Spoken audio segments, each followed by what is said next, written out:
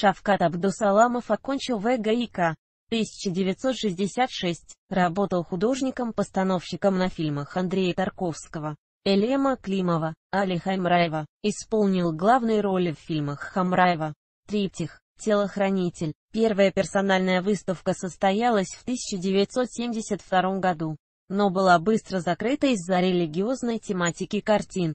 Его картины хранятся в Третьяковской галерее, коллекции Нэнси Нортона Даджей в США.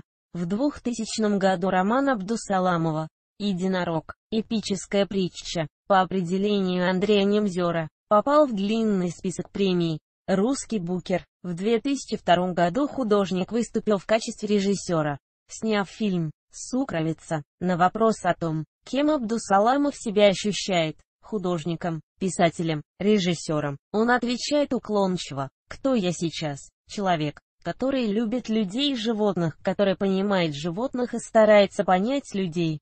Танина Гуэра, 1920-2012, неоднократно бывавший в Москве и посещавший Шавката Абдусаламова в его мастерской, чрезвычайно высоко отзывался о его работах и всей жизненной философии.